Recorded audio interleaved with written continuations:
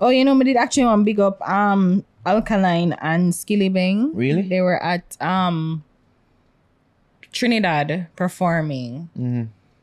And actually I wanted to big up Alkaline with his performance. Like I saw clips of him You and he was totally engaged. He might take the, the fan phone and a video and a What? one. Uh, Like he was like he's definitely grown as a performer. Yeah. So it's nice to see that too. To see growth in him. Like everybody's just growing and elevating. It's Love nice. that. It's nice. shout out to Alkaline, for real. Yeah, yeah, yeah, I think it's something that he has heard the criticisms, he has heard the the critiques, Mm-hmm. and it's something that he has taken time to work on over the years. Yeah. You know what I mean? I think I appreciate that. that's something what people love to zero in on and if something for forgot even a one percent wrong. It's like, see that ain't no good.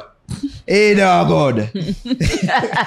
see, let me tell you, it can't profile. Yeah. Yeah, I just feel people are unfair. You see me, and I, I, I, I think it's good when we can acknowledge when we see work I put in and when him actually Like him and do now. good work. I think he's right. I, I think he's not comfortable Mm-hmm. with who he is Mm. as an artist.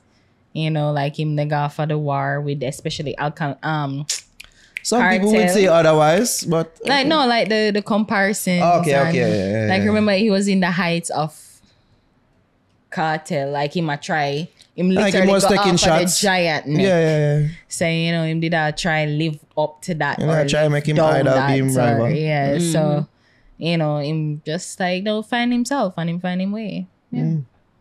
Young vet, shout out to the young that. vet. Shout out mm. Skillibeng.